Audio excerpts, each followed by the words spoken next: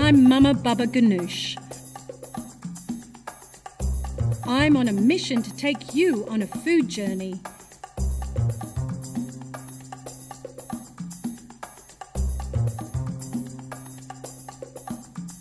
And to kickstart our first journey, we're meeting one of the most famous celeb chefs on the planet.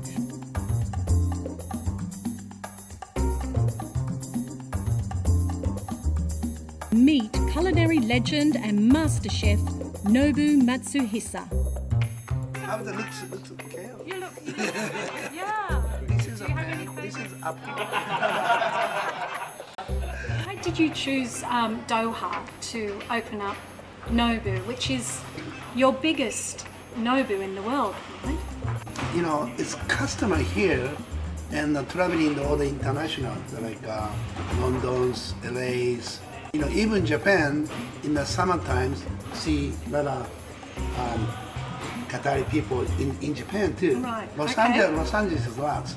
So then um, they approached us to maybe time to go to opening the Qatar because they knows my food a lot.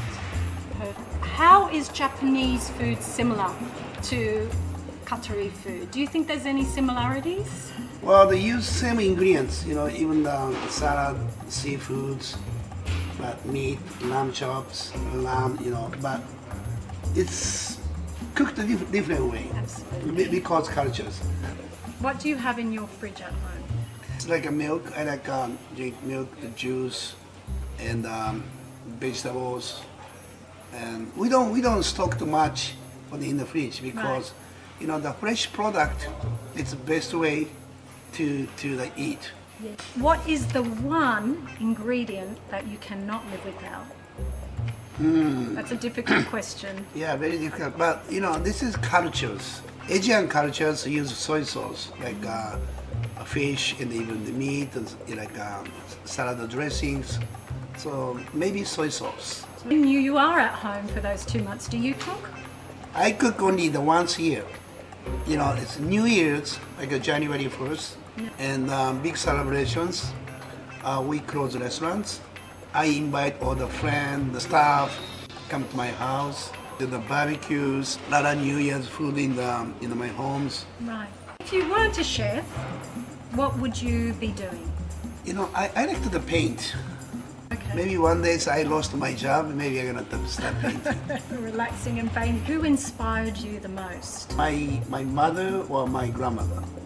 My mother he cooked for the family, and um, not instant food. You know, it's take the broth, dashi, and all the handmade. So it means they teach me to how to cook with heart.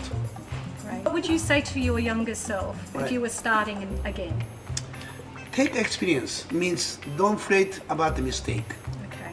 You know, and if you they did a mistake, learn from the mistake. So patient and appreciations and um, try your best. That's it. Fantastic. Well, thank you so much. thank you. It's been an absolute pleasure. right. Thank you. you very much, Chef Nobu. And that's it. Hi, I'm Chef Nobu. So I'm here in uh, uh, Doha, Qatar, and you know it's beautiful restaurants. Already it's past two years, so I hope that you guys come to see us, to my family, you know, and I'm gonna make the happiness for you. Good food, good service, makes happy. So please come see us soon. I'm Chef Nobu. I love Qatar.